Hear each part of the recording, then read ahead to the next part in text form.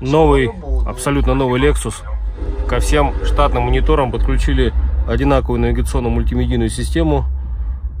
Спереди Pol UDS по оригинальным коннекторам, сзади по HDMI с высоким качеством разрешения. Можно смотреть YouTube, можно включить онлайн телевидение.